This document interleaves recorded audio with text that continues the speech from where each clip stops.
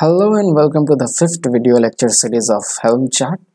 Today we will see how we can use a Helm dry run command for debugging the Helm chart. So one question may be coming in your mind if we have done Helm lint and Helm template then why we are going for dry run.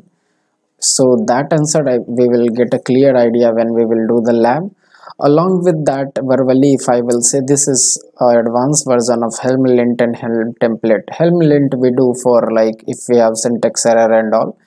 And helm templates if you will do you can validate and verify as well like whatever values you have provided in the chart in the helm chart configuration either it is correct or not before going for the deployment and this is advanced version of helm template because in which what you are doing when you will write this command helm install dry run debug. So it will do what? Like if you want to if you want to deploy if you want if you don't want to deploy on the production server okay but still you want like if you still want to test your code okay okay. So if you will write this command and you will execute. So it will go to your uh, kubernetes api server. It will validate and verify but it will this time not create any resources. It will again come back and return success values right? So in earlier phase what we were doing we were validated validating the code on the uh, first side itself right? And this kubernetes is the next side where you will deploy your code and but in this helm dry run we are uh, we are actually we are actually getting ready for the real time environment. Okay. Means without any deployment we are running this helm install dry run it is going to it is going and attack attacking the kubernetes api server and it is validating our code there. And it is returning some success status. So that what are the benefits of that? So it will save your time during the release because you are doing the pre-deployment check. And second it will debug it will help you to debug and fix your chart before the actual deployment right? So instead of checking in the first side you are checking on this api server without installing. So like this way it will help you. So let's go to the lab section and let's have a clear idea. If you if you're still confused we will go to the lab and we will see.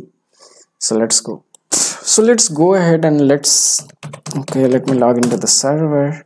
So here i'm using single node cluster for minikube okay. And i have installed uh, helm as well earlier so if you want to do the lab please install and please check out my previous video so that you will know how to install and what are the prerequisites you have to follow.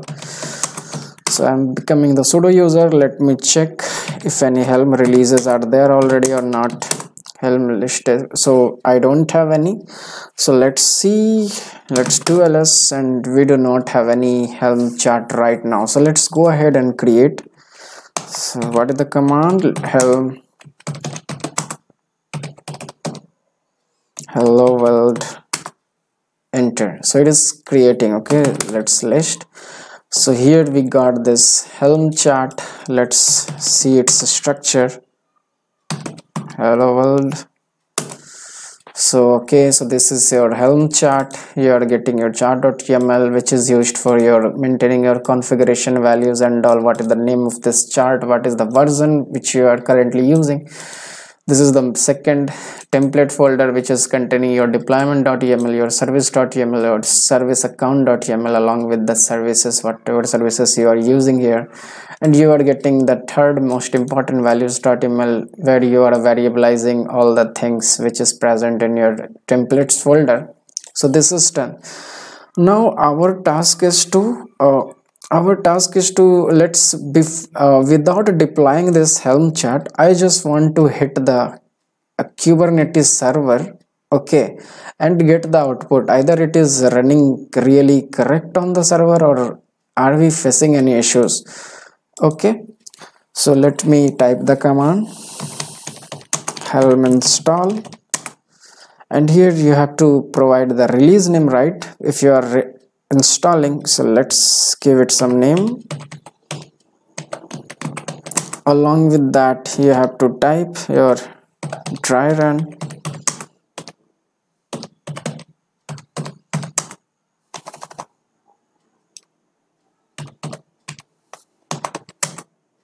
Okay. Debug. And along with that what is the name of your helm chart?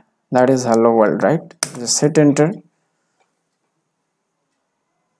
okay. So this is the one which you got some response. Okay. So if you will go up.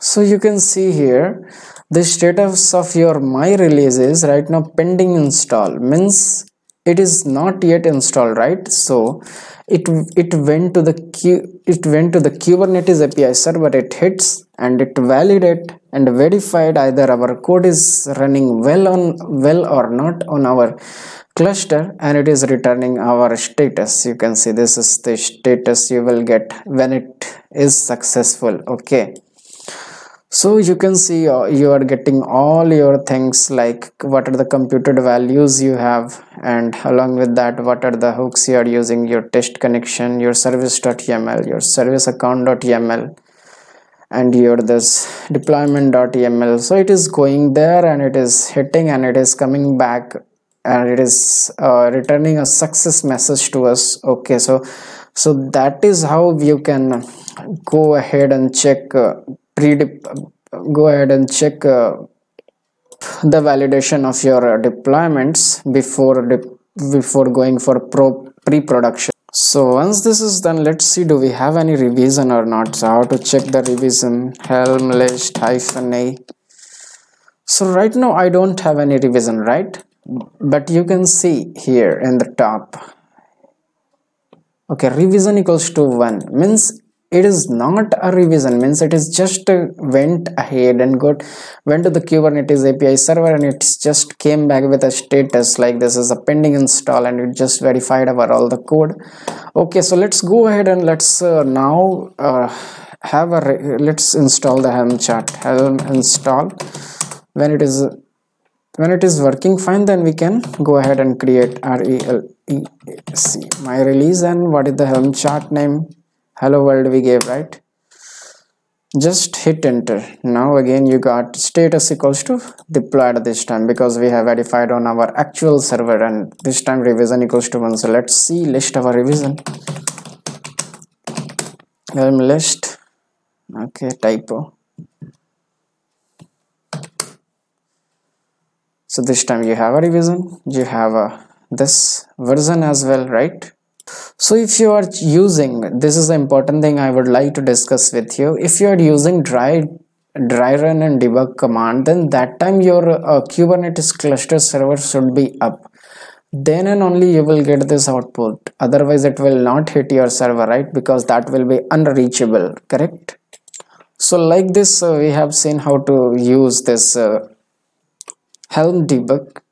Okay and if you want to get more idea in this please follow my channel.